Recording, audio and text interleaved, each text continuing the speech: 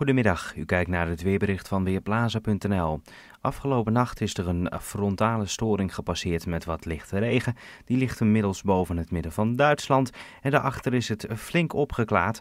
In het binnenland komen nog wel wat stapelwolken voor, maar het blijft overal droog. En van het westen uit worden ook die stapelwolken steeds kleiner. Komende avond en nacht wordt het op de meeste plaatsen helder. En dan gaan we eigenlijk een paar hele mooie en geleidelijk ook warme dagen tegemoet. Het heeft allemaal te maken met een hoge drukgebied. Dat hoge drukgebied ligt op dit moment, eigenlijk vanochtend vroeg, lag dat nog ten westen van Frankrijk. Maar dat hoge drukgebied dat gaat zich verplaatsen. Als we de kaart in beweging zetten, dan zien we dat het hoge drukgebied morgen boven ons land ligt. En daarna zich geleidelijk aan nog verder naar het noordoosten toe beweegt richting de Oostzee. Maar dat is pas later in de week. Op donderdag ligt het hoge drukgebied dus boven het noorden van Duitsland. En dan zien we aan de windpijlen dat de wind dan uit het zuiden tot zuidoosten komt. En daarmee wordt die warme lucht naar onze omgeving gestuurd. Vanavond, zoals gezegd, is het op de meeste plaatsen helder. Zo halverwege de avond is het een graad of 7. De wind, die nu nog noordwestelijk is en veelal matig, kracht 4, neemt af naar kracht 2 tot 4. En de komende nacht staat er zelfs nauwelijks of geen wind meer. En daarbij koelt het af naar waarde dicht bij het vriespunt en misschien zelfs lokaal net even iets eronder. Verder kan er verspreid nevel of misschien lokaal wat mist ontstaan.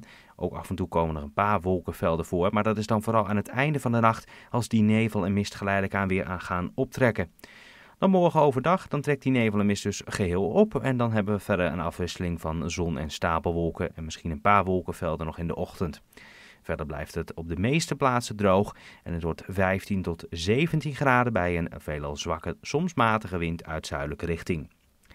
Dan de dagen daarna. Ik had het net al verteld. Vanaf donderdag gaan we een aantal zeer mooie dagen tegemoet. Op de donderdag, bevrijdingsdag en hemelvaart, valt op dezelfde dag dit jaar, is het droog en geheel zonnig bij 17 tot plaatselijk 20 graden.